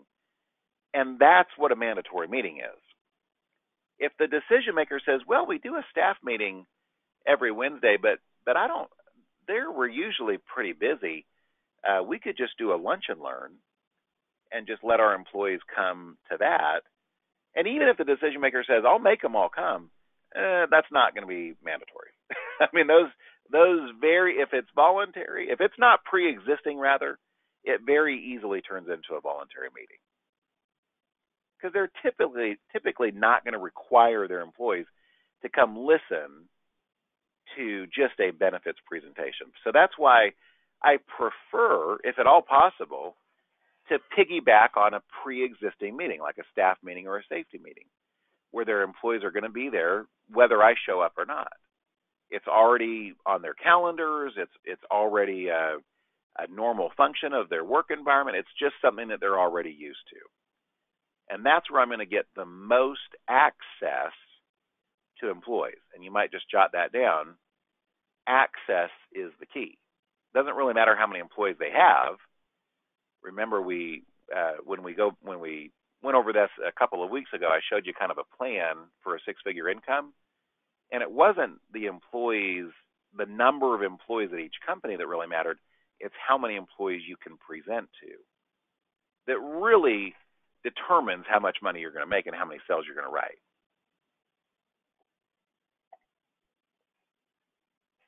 Excuse me. So Uh, so that's mandatory, that's voluntary. Under open enrollment, if we are going to do this through open enrollment, that's fine. And again, I'm not anti open enrollment, but uh, but if we're going to do this through open enrollment, then I want to determine what does that look like. Or do they do employee meetings? Like a lot of organizations will, you know, have uh, different department meetings for their open enrollment, or they'll do like one big open enrollment meeting that everyone comes to, or they'll do a couple different times that everyone comes to. Or is it going to be like a benefits fair, you know, where I'm going to have to do like tabletop presentations? I've learned this uh, of any of those on the screen, benefits fair is probably my least favorite. so, and it's not that I don't write business there, but when you've got people coming through an auditorium or a gym or like in a school, for example, or you know the lobby of of uh, of a company, of a business, or sometimes they'll set people up in a in a uh, conference room but when you're there, and so is the you know the Lincoln Financial guy and the Aflac rep and the Sam's Club people and Costco. I mean, you know, some of these benefits fairs they've got 10, 15 people there. And when that's the environment, it just becomes more difficult to really dive in, especially when you're doing basically one-on-ones, tabletop presentations. You're not sitting down, you're standing up you can't really dive into all the benefits. Those those presentations need to be about 100, you know, two to three minutes, 120 seconds to 180 seconds. I mean, they just need to be fast. And so it's basically a concept sale. You want to have something to incentivize them to sign up today. So, like I like to set out, this is a trick I, I borrowed from Chris Evans. I like to set a, a big bowl of those Lindt Lindor chocolates out and then I've got behind the table, out of reach, so they can't just pick them up. But I've got behind the table the little three dollar bags of the same chocolate, Lindt Lindor chocolates. I'll buy the big bags to fill up my bowl, but then I've got a bunch of those little three dollar bags in the back, and that way, as they take a bite of that chocolate, and I'm telling them about the plan, I say, by the way, for those who sign up today, you get a, a bag of those Lindt chocolates to take home and we'll put you in a drawing for a $50 gift card. But something that incentivizes them to say, yeah, I'll go ahead and sign up because because you're not going to be able to get into much detail in a tabletop presentation. You got two to three minutes. It's a concept sell, and then again, incentivize them to sign up. And and and and if it's a benefits fair, you might have a hundred people come through, but you might sell three or four or five apps. I mean, it just you're you're probably not going to sell a ton. You just kind of have to expect that. So a good follow up to that, sometimes what I'll do is on a benefits fair, if the decision maker is willing, I'll set up a voluntary lunch and learn. And and by the way, the reason I would do a voluntary meeting is if they don't do a mandatory meeting. If they say we don't do a staff meeting or safety meeting or whatever, then I'm going to go to a voluntary meeting. But sometimes I'll set up a voluntary lunch and learn for like the week after a benefits fair and then in the benefits fair, I'll have a sign up sheet with the name and email of, of the employees, and I'll get people to sign up to come to the lunch and learn. And that's a lot easier sell in two to three minutes. I'll say, hey, by the way, next week we're doing a lunch and learn on Wednesday. Why don't you come out have a free lunch and we'll be able to, to go over this plan and really show you what it can do? I think it could really help you and your family. Would you be interested in that? Yes, go ahead and sign up. Uh, go ahead and put your name and email and we'll add you to the lunch and learn list. This is RSVPing for the lunch and learn. And that that works because if I can get in front of 100 people at a benefits fair, I can get 50 or 60 of them signed up for lunch and learn. Most people are willing to commit for that. Now, you know, it it's not as hard of an RSVP as if they had emailed the the uh, HR person to RSVP. So if I have 50 to 60 signed up, I might only have 40 to 45 there. But that's more than I would typically get just having the HR send an email out. I might only get 20 to sign up. So, so I found that that's a pretty effective way to kind of combine a benefits fair with a voluntary meeting the following week. And again, HR people are usually pretty pretty willing to allow you to do that because it's in that open enrollment window. So I know I've talked a lot about this, but but uh, but I'm about to show you my closing language, and this is where the rubber really meets the road. So let's kind of go back. We're meeting with Susan, our decision maker here, and, and I've determined that you know what, Susan is a decision maker. You know, she's been here at the company for seven years, so she's not just getting her bearings. She's been here for for a long time and maybe you know maybe there's an owner involved at as well, but Susan hasn't mentioned that at all throughout the meeting. So I'm I've decided I'm going to go for the close. I'm going to go for a meeting here. I'm going to try to set up an employee meeting. And and I'm going to show you the language for if this is, you know, if, if it's either mandatory or voluntary. And I know that because I've asked Susan, do you do staff meetings? And she either said yes, we do a staff meeting every month or every week or you know every quarter or whatever, a safety meeting once a quarter, or she said no, we don't. And that's where I'm going to get into this closing language here. So I'm showing you this this slide. You can jot this down, or or uh, I guess maybe I can send this out in an email too if you don't want to uh, write furiously here. But this is my language if I've determined that they do a mandatory meeting, so let's say that they do a staff meeting every Wednesday morning at 8, then this is my closing language. And where I would get into this is after I've talked about this is the rate, isn't it a good deal? 50 to 70% of employees sign up. No wonder it's such a good deal. And they're saying, yeah, it sounds really good.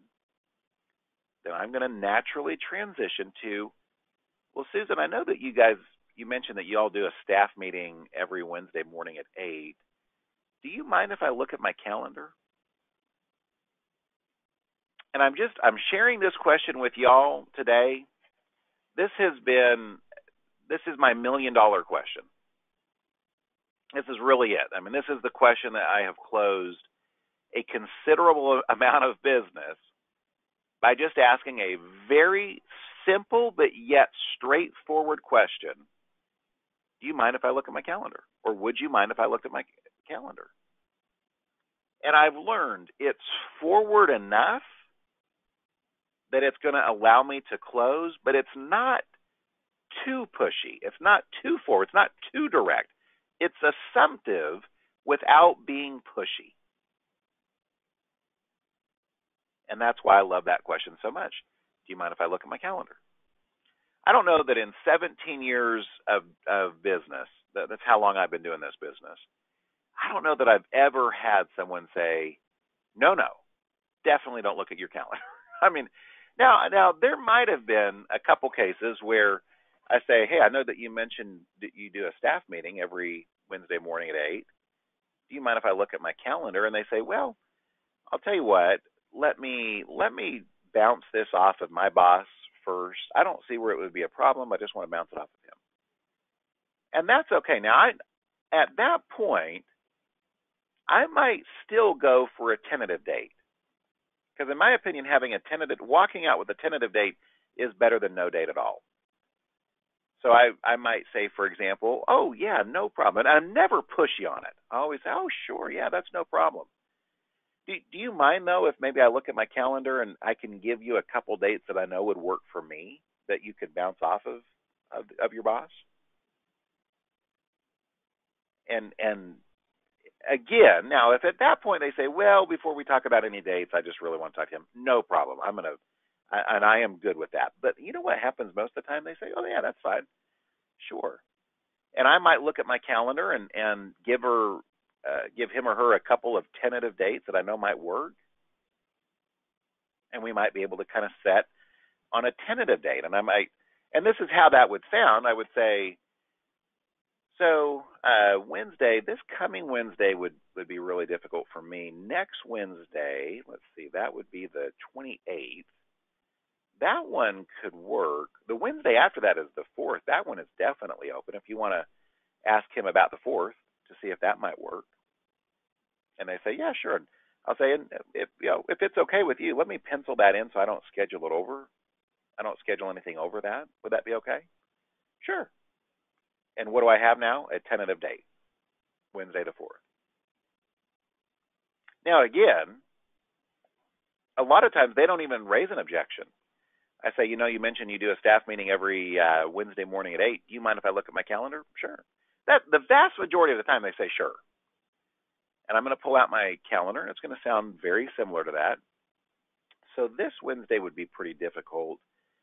Next Wednesday I could make work. Actually, the Wednesday after that, the 4th, is wide open for me. How does that look for you? And I want them looking at their calendar. That's the goal here. Now, notice what I'm doing there. All I'm doing is I'm trying to mirror what I think they might say. The reality is, this Wednesday would be fine with me, and I'm okay with that. But I know that they probably have a pretty full agenda already for this week's meeting. And that's why I say this Wednesday would be kind of tough. Next Wednesday I could make work, but the week after that, the fourth is wide open. How does that look for you? Because I'm I'm guessing that that's probably how they would say it as well. This Wednesday would be tough. Next Wednesday we could probably make work, but the Wednesday after that would be perfect.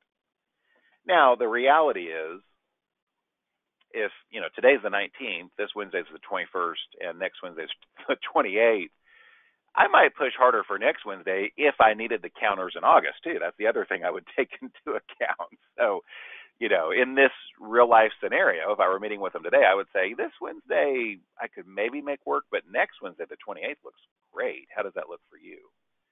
And then I can get that business in, make it effective September 1st, and it could count for August if I needed it to. So I've done that many times as well.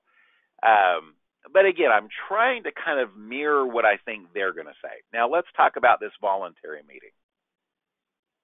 If I've determined that they don't do a staff meeting, they don't do a safety meeting, which many companies don't, what language am I going to use for a voluntary meeting?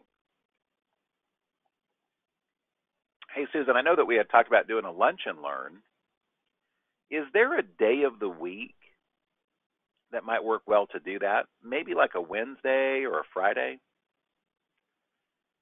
That language there is so crucial. Now, I'm going to tell you, some of y'all, the problems that you've had with decision maker meetings is you haven't used language like this at all. All you said is, I'll follow up with you next week and we'll see if we can put something on the calendar. And it was easier to take that out because there wasn't going to be any rejection in that. And that's what you've been doing. And I'm trying to give you language here that you can actually close a meeting. Is it going to work 100% of the time? No. For me, it works about 25% of the time. About one out of four decision makers that I meet with, I'm able to set an enrollment on the spot. And one out of four is enough to make a solid six figure income. But one out of 10, it's going to be a lot tougher to make a six figure income. And that's why I'm trying to give you language here that you can use. Now, you don't have to say it exactly like me, but if you do say it exactly like me, it'll probably work for you. This is one of those things that actually memorizing this language and saying it in a particular way is a good thing. Listen to this this line, for example. We talked about doing a lunch and learn. Is there a day of the week that might work well to do that? There's a big difference in saying that and is there a day that might work well? That's a little too forward. And when you say, is there a day that might work well to do that? That's when they kind of put the brakes on and say, oh, yeah, let, let me, let me, let me just do a poll with my employees or let me talk to my boss or, you know, they, they're just not quite there yet. They're almost there, but you pushed them a little too hard this what's on the screen here is a little bit softer. Is there a day of the week that might work well? And then suggest a couple days, maybe like a Wednesday or a Friday. And you watch what happens. Here's what they say. Yeah, actually, uh, you know, Wednesday, you know, Wednesday would probably work. Friday's probably not good because we've got a lot of people that take off Friday, but but something in the middle of the week, like you know, Wednesday or Thursday. Okay, great. And then guess where I go? Million dollar question. Do you mind if I look at my calendar? Sure, that'd be fine. And, and guess what I'm going to say? So you said Wednesday. This Wednesday would be kind of tough. Next Wednesday I could probably make work, but the Wednesday after that would be perfect. How does that look for you? In a voluntary meeting, with a voluntary meeting, it's maybe even a little bit more important to shoot a week and a half to two and a half weeks out because you're going to need some time to advertise for it. With a staff meeting, if they said this Wednesday is is good and they'll give you 15 minutes, then that's fine as long as it works in your schedule because their employees are going to be there already anyway. But if today is Monday and you say, "Hey, how about we do a lunch and learn tomorrow?"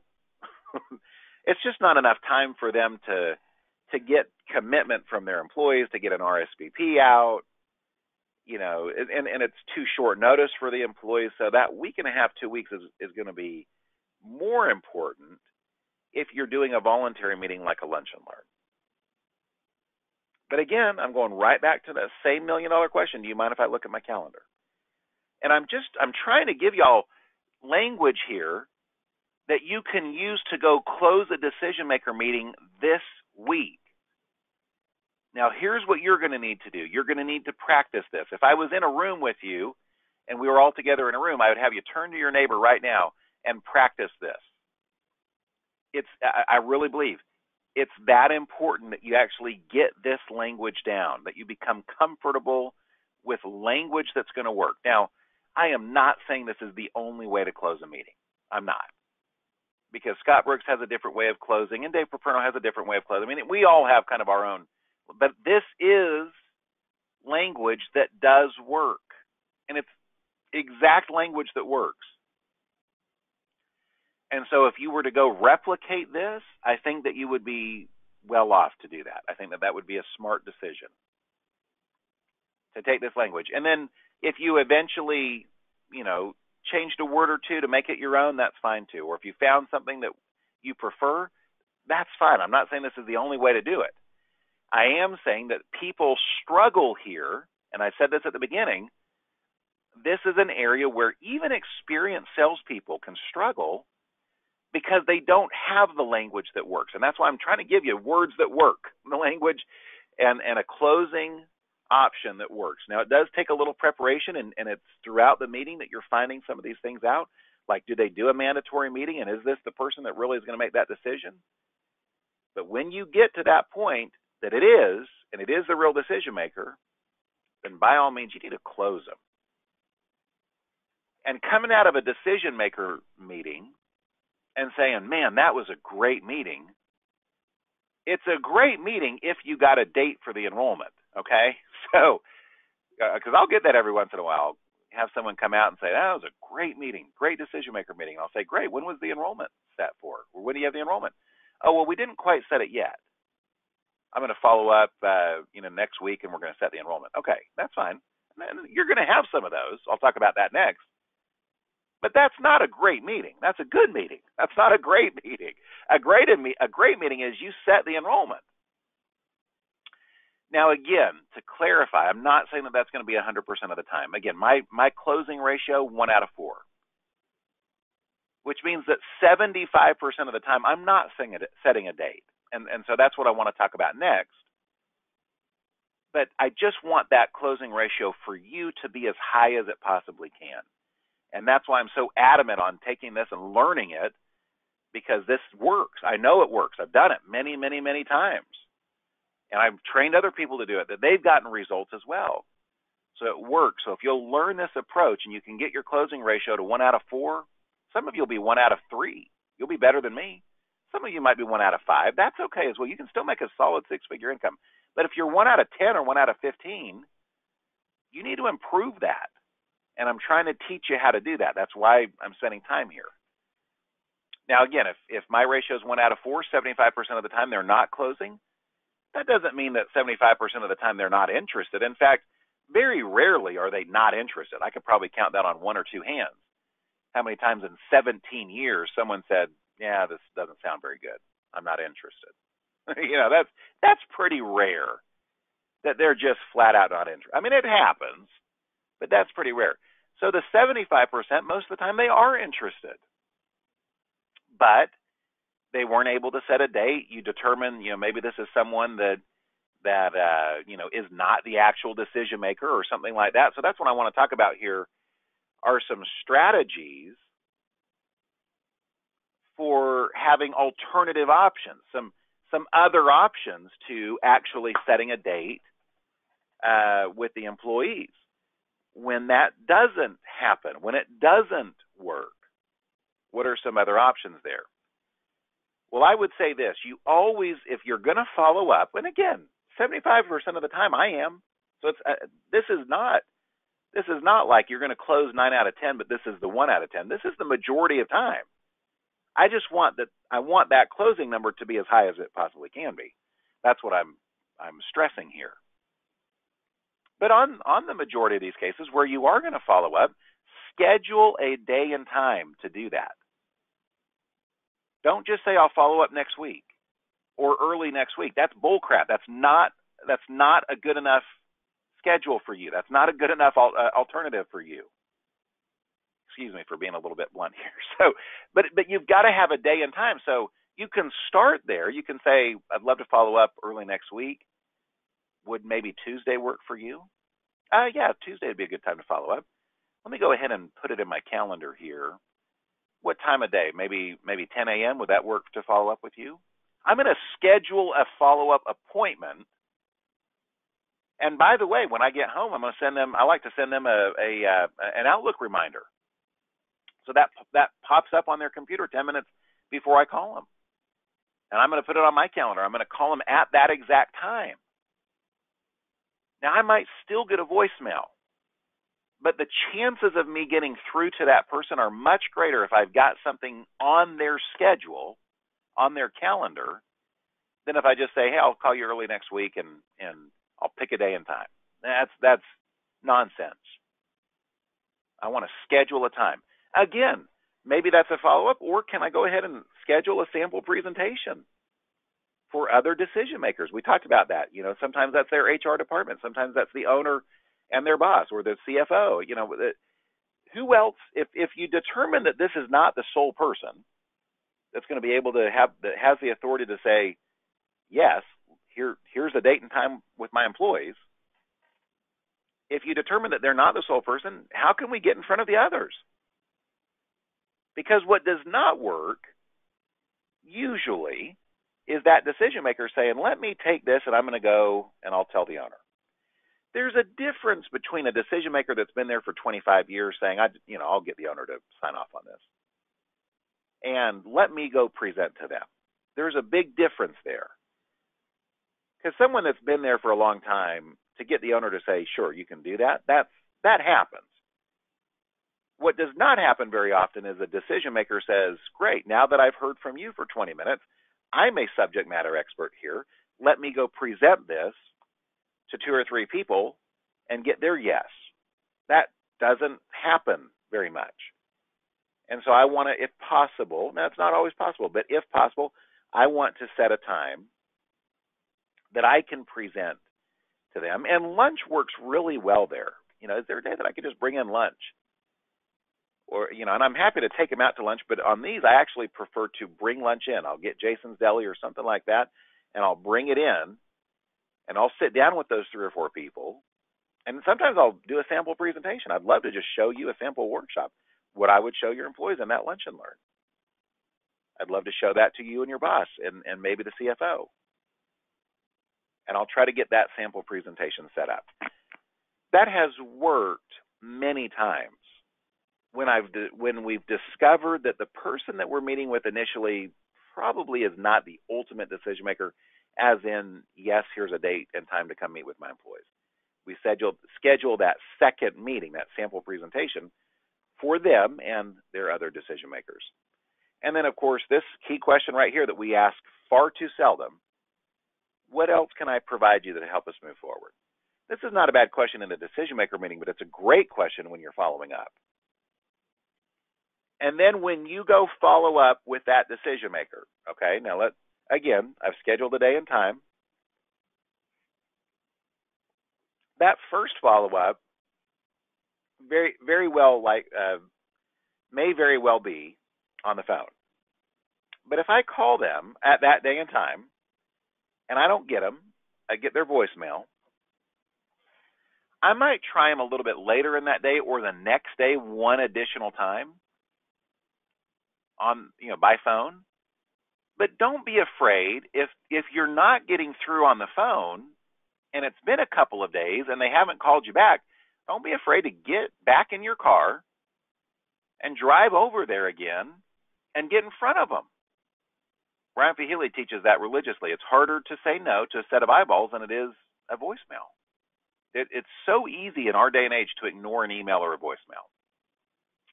So I might start there with you know a voicemail if they don't answer the phone at the appointed time. I might follow up with another phone call and an email would be good, just to let them know that I'm, I'm still there. I want to I want to follow up like we had agreed. I'm not going to be rude about it. I'm not going to be hurt by it. I'm not going to show pain in my email. I'm not going to say, you know, I told you I was going to follow up this morning at 10. I called you at 10. I got your voicemail. I don't know what's wrong. Don't know why you're ignoring me. I don't know what, you know, did, did you did you uh, read something on the internet or, you know, I'm not going to take it personally. The reality is most of the time, the vast majority of the time, they're still interested. They just got busy. And that, frankly, is why I want to close it on the spot as often as possible. That's why I try to get at least one out of four to close on the spot. Because as soon as you walk out of their office, they got 50 other things that jump on their plate, and and and it's you know they're just busy. HR people especially, they just wear so many hats. They have so much going on. That's why I try to close it when I'm right there because that's when it's top of mind for them. But if I can't, and I follow up and I get their voicemail, I'm not offended by that. I'm not hurt by that. I, but after a, a couple days, if I'm not getting through to them, I'm going to get my car I'll drive over there again. Now you can't do that. Just show up for no reason. So that's where you know maybe another piece like the uh, I'll show you here. Going back to our Legal Shield store, uh, let's search. What is that called? Um, uh, needs maybe legal needs analysis. Oh, Legal Needs of American Families. That's what it's called. Where is it here? Oh, I'm not seeing it. Um, I know that it's on here, or at least it used to be. Yeah, maybe it's not. Um, but, but that Legal Needs of American Families, let me go to, let me see if I can find it in LS Engage. There it is. Legal Needs of American Families. So you maybe maybe they don't print them on the LegalShield store anymore, but you can get this printed at at a UPS store. This is a great document. Now some people like to use this in their actual decision maker meeting. I've found that this is a great document for follow up. It's a third party study that LegalShield paid for, but it was uh, conducted by Decision Analyst uh, company right here in Dallas, actually, I, I believe. But they uh, they conducted this survey and basically put numbers to facts that we already knew, which is people can't afford attorneys and are stressed out by legal issues, and this product can help them. and so, but it, it's a really good piece to go in person and bring to that decision maker when you're following up. And here's what you'll find is when you show up and say, "Hey, is Susan in? I just had something I wanted to drop off to her." And by the way, that receptionist might know you now because you've been there before, you've met with Susan before. And if you were really on top of your game, you brought a mug of chocolate for the receptionist as well. So now he or she likes you. But they say, yeah, let me just get Susan up here. And Susan comes out. Here's what Susan's going to say. Hey, I got your voicemail. I'm so sorry I didn't call you back. Um, but we do want to move forward. I, I, I did talk with them, you know, whatever. Mean, there are so many times where, and maybe they're not ready to move forward yet. I am checking on it still. And all I all I say is that's no problem. I wanted to drop you off this little piece here. This was a study that was done. I just thought you'd be really interested in that. And I would love to. Is there another time that I could follow up with you? How about later this week? And again, schedule a day and time. The more that you can schedule versus leaving that open open ended, I'll just I'll just call you back later this week. That's that's junk. That does not work. Schedule a day and time, and you're going to be better off in getting results. Okay. Whew. Now that I've yelled at you for the last two hours, I think that I've covered what I want to cover. Let's uh, let's go to questions, and again, I'll just ask you to submit any questions through the panel here. Looks like we've got a number of questions. Let me get to them try to expand this here. Okay. Um,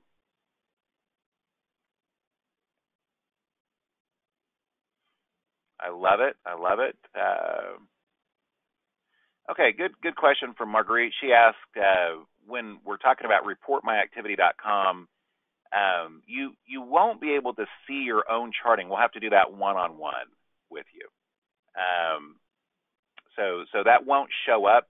The reportmyactivity.com is just for entering those uh, the the numbers, entering the results that you're seeing. Um, Jennifer Stroll asked a really good question about AFLAC. Uh, AFLAC was already here. Objection. I'm assuming she says that we hear this frequently. I'm assuming Jennifer that maybe AFLAC didn't go very well. Uh, maybe that's what you're saying. Because um, the truth is, I love it when you say, "What kind of benefits do you offer?" and they say, "We have AFLAC." Oh, that's awesome. That's like the best thing I can hear because that shows that they're open to voluntary benefits. But I'm assuming what you're saying is sometimes you'll you'll talk about this and they'll say, "Yeah, we had AFLAC here and it didn't go real well." Um, and and again, I just think the best way to overcome that is getting them sold on the benefit itself. And and uh, and you can say you can add to your presentation a great way to overcome that before it arises is, you know, when you're talking about the cost and when you're talking about um, the the benefits, you can say it. You know, you can see, or these are things that employees can use. Like I might mention this at the will.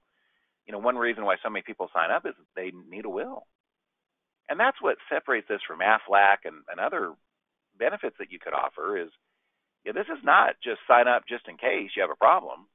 This is sign up and save a thousand dollars your first month. No wonder we're seeing 50, 50 to 70 percent participation. That's how I would try to overcome that before it it uh, it comes up. Uh, Joni asked a question about going to the LegalShield store. Do you need your associate number? Uh, Joni, I believe that you would need your associate number if you wanted to use marketing dollars. I don't believe that. I know you would. You would need it to to use marketing dollars. But if you're just buying them straight up, I don't think that you do need an associate number. Although I'll give myself it out and say I might be wrong on that. You just have to try it and, and see. But uh, but but obviously, you know, we go there, we spend a lot of marketing dollars there, and there you would need to uh, have your associate number. You actually you, you you click on marketing dollars, and then you log in with your LegalShield associate login. And so I don't know that you actually enter your associate number, but you do have to have your login to be able to use those marketing dollars. Um, Valerie asked a great question about uh, nonprofit organizations. Can you do that as a self-pay group? And Valerie, again, I'll give myself an out here and say the best place, to, the best way to check that would be to call client services. But I believe that you can. Now they might pay it as earned. I think they pay. That's one of those that they pay as earned. But I I think that you can do a nonprofit organization and offer them the group rate I always give myself an out because things change and and but I know we've done that before. Again, it might be a as earned group, but just check that with client services. But I don't see any reason why um, why you could not do that. Uh, Joni asked another question about um, selling in states that we're not licensed in. So you do have to be licensed, and it's not. It's it it has to do with where the employee lives. So if you're doing an enrollment, for example, in Virginia, even though you don't, you know, you might not live in Virginia, and even if the company is not based in Virginia, but they have a Virginia office, if you've got employees who live in Virginia, then you would need to get that Virginia license. So it has to do with where the employees live. Now you could, uh, you know, use someone there local to do the presentation, and and or you know just use them. You could do the presentation if you wanted and, and use somebody local, but you could use someone that does have a Virginia license and you could split that 50 50. As long as you, you would have to set up a commission share, and you can put on the commission share all Virginia applications follow this 50 50 split with me and the licensed associate. And um, yeah, that's another way to do that in every licensed state, you can do that except for Mississippi and Massachusetts. Those two, you have to be licensed to get any commissions on the legal plan. So, uh, but that's another way to do it. Of course, Virginia, I use that as an example. That's an easy one. That's you go online, you pay 50 bucks, and you have to answer the one question test. Which is do you have $50? And if you can say yes, then you get the license. And you print it out like 10 minutes later and send it to LegalShield. It's a real easy one. Okay, let me uh, go here back to our questions.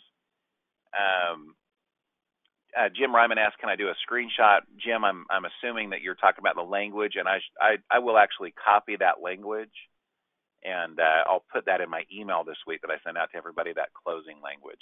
I might just do a PDF of it. Um, uh, then Joni asked about signed applications. How do you submit those? So, uh, you know, I'll refer you, Joni, to the video on group paperwork in our back office. And that's a that's a video, by the way, that we're going to be putting on the Legal Shield LS Engage back office. We're going to make that available to everyone. It's been available to our team, but we're going to make that available to everyone soon, like like in the next couple of weeks. Um, the uh, but but that video talks about ways to submit business. And by far the most popular way right now to submit business is just going and entering it on LegalShield at Work. That's the easiest way. And actually, if you're doing that, you don't need a signature. Because and once you enter it at LegalShield at Work, you're just typing in the field, and then you don't have to send the form after that. You just keep the form or destroy it is the best. But um, but you don't have to send the actual signed form to Legal Shield. So in cases like that where you're doing it on LegalShield at work, you don't even need a signature. And where that can come in handy is like Brian Fahili talks about doing uh, enrollments over the phone, where he's calling people and enrolling them over the phone. He's not going to get a signature on that, obviously, but he doesn't need one because he's entering those at LegalShield at work. Now, if you're going to enter the applications from uploading, where you know I don't know why anybody would mail in in today's time, just scan them and upload them. You can scan them with your smartphone and upload them. That's kind of like if you can't do them on LegalShield at work for some reason, that would be your plan B. And in those cases, you would need the signature signed. Uh, but it would just be as simple as scanning them and uploading those through your Legal Shield back office. Again, I would I would encourage you to go look at the video where we where we really break that down. Um, let's see. Lita Cross Gray says, I could have used some of these techniques this morning. I'm sorry, Lita, uh, about this morning, but here's the great news. Tomorrow and next week and the week after and the month after, you're going to have them. So that's good. Uh, Marguerite says, when the decision maker likes the plan, can we enroll them on the spot with the app and then set an appointment with the employees? And she says because it might take you know a few weeks, and in the in that process, they, the decision maker might be using the plan. Marguerite, the answer is sure. Yeah, you can do that. The problem is you'd have to enroll them at the individual rate because you don't have enough to open the group yet, and that can create an issue. Even if you found a way to enroll them at the group rate, I, I I would say that the cases where I would want to do that are very few and far between. And it would be like if a decision maker said, actually, I would love to sign up for this before the enrollment because I've got an issue right now that I need to use it for. That's where I would do it. I typically am not going to push for that though. And, and here's the biggest reason why I want that decision maker signing up in front of the group. That's what I want. That's what I prefer. I want the decision maker up in the front of the room filling out his or her paperwork, and I want all the other employees seeing that that it just creates such a positive dynamic for the group. So that's why I would prefer to do it that way. Um, Donna mentions uh, having a hard time bringing up reportmyactivity.com. Just keep trying; it, it's working. So make sure it's all one word, uh, no no spaces. Reportmyactivity.com, and uh, let's see here. Valerie asked a good question about identity theft plans, and and uh, Aflac and other companies do have identity theft as an offering. What you'll find is most companies, if it's just an offering, they don't really push it. Like some insurance plans have an identity theft offering as well. I can't tell you how many meetings I've done where other companies that offer an identity theft plan are there and they don't even mention their identity theft plan because they know that it pales in comparison to what we do. And like I've had Aflac reps, for example, say we offer an identity theft plan, but this guy's is better. Like at an open enrollment meeting, listen to to this guy because his plan is better, you know, or something to that effect. is pretty cool. So usually they they understand that, but again, it goes back to people skills and you know building relationship with other vendors as well. Um, let's see. I'm just kind of going down through here. Jennifer Strobel, I know that we're at 1232 here. Let me just answer a couple other questions. Since the transition from Kroll to in-house investigators, do you find it helpful to include that in the decision maker meeting and how would that sound?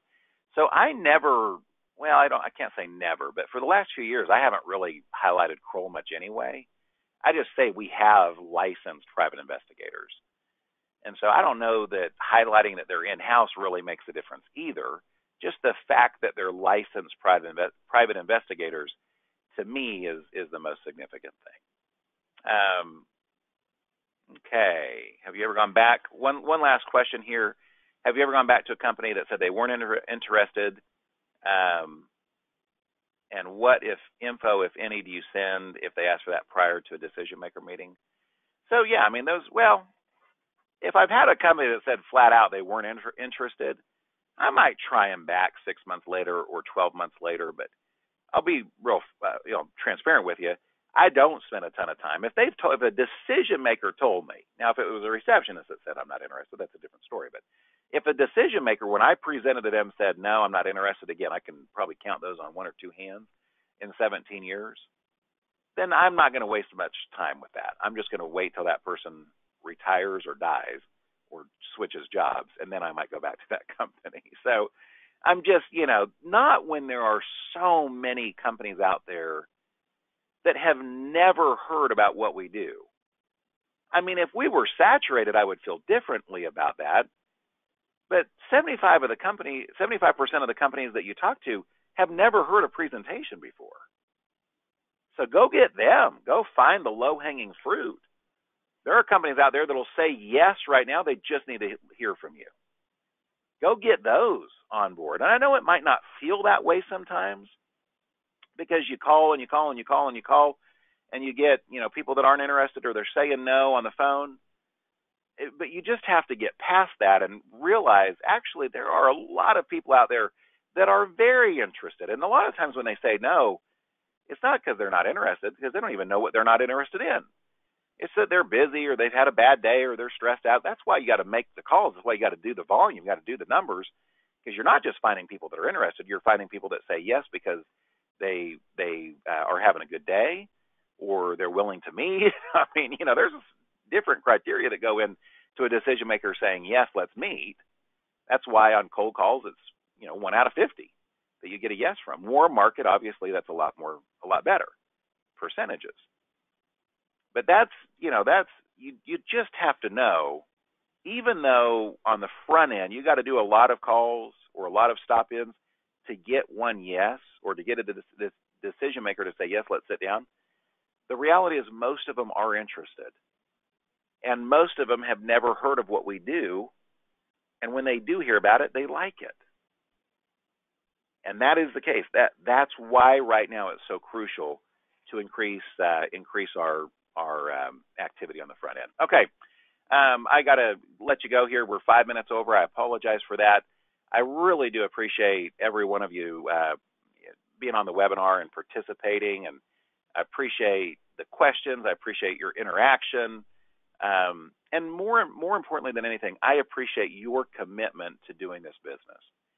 The activity reports that we're that we're receiving show that you do care about your future and that you want to, to make this business work. And I just want to encourage you again, there are people out there right now that are waiting to say yes. They may not know it yet, but they're waiting to say yes. They just need a phone call from you. And there's never, a, uh, there's not a more important time of year for prospecting than right now. So I would encourage you to really double down on that this week. Let's get this message out there, and, and at the end of the day, let's help, uh, let's help people with these products. God bless you all. Thank you so much for joining us. I appreciate you, and uh, we'll talk to you next week.